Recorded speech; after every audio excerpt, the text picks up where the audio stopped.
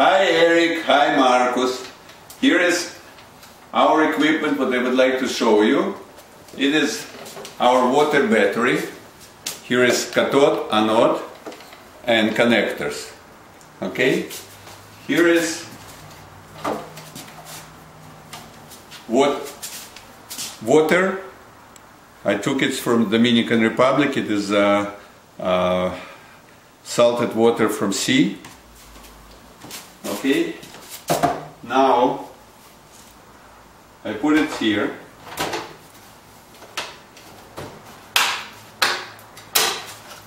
It's ready ready to use battery. Okay. Now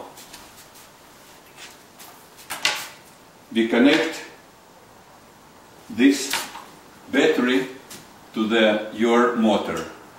I made its uh, handle to for easy presentation. Here we're going to connect this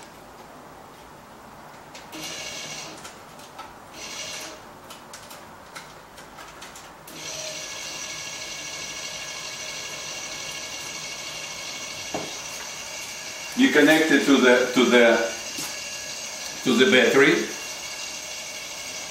and waiting until battery picked up all juices from the water. See it's starting to run with more power. Okay? And if you look at it here, we put it in the water. Get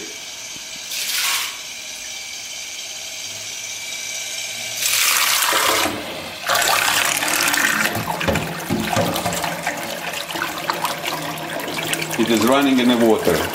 If I if I going to take it out, э, чтобы показать так и так, чтобы видно было, как оно работает. I take it out of water, that's it. Battery doesn't work. I put it back.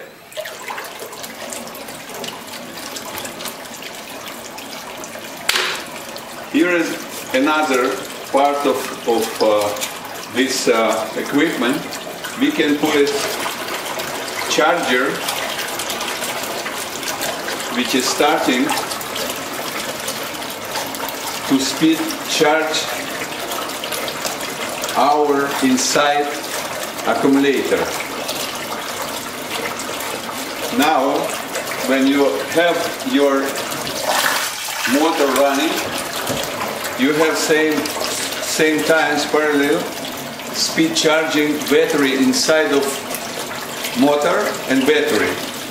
Now, if we take it apart like I did it before, look what happened. We've been charging maybe near one minute.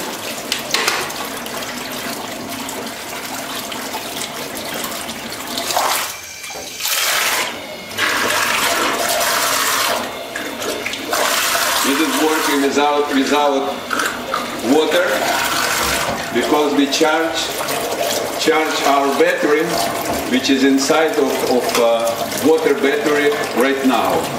What you have inside it is nickel zinc battery but we can put this lithium ion as well.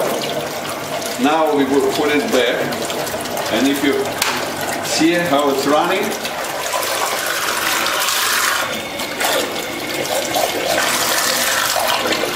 time to run is gonna be at least seven hours.